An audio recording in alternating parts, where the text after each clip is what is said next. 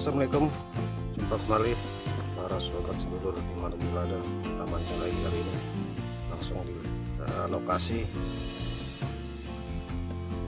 Sungai yang tertutup ini. Kita coba mancing sepat Jadi yang kita siapkan Untuk mancing sepat ini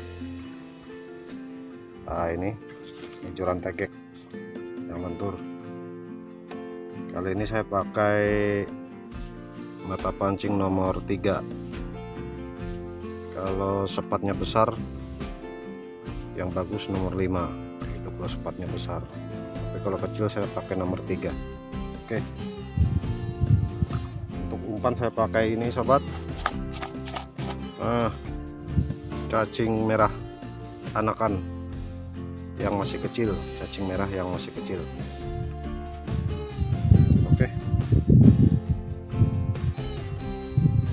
Bagaimana selanjutnya langsung kita ke atau sungai ini. Ini bukan kolam ya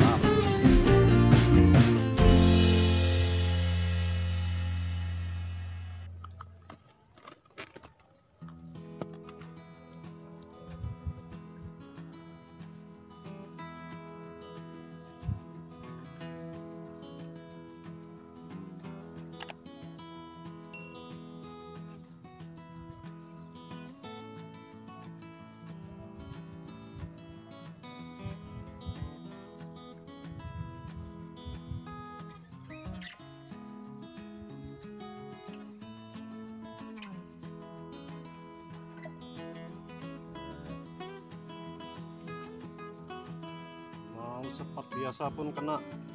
Ah, ini sepat biasa ini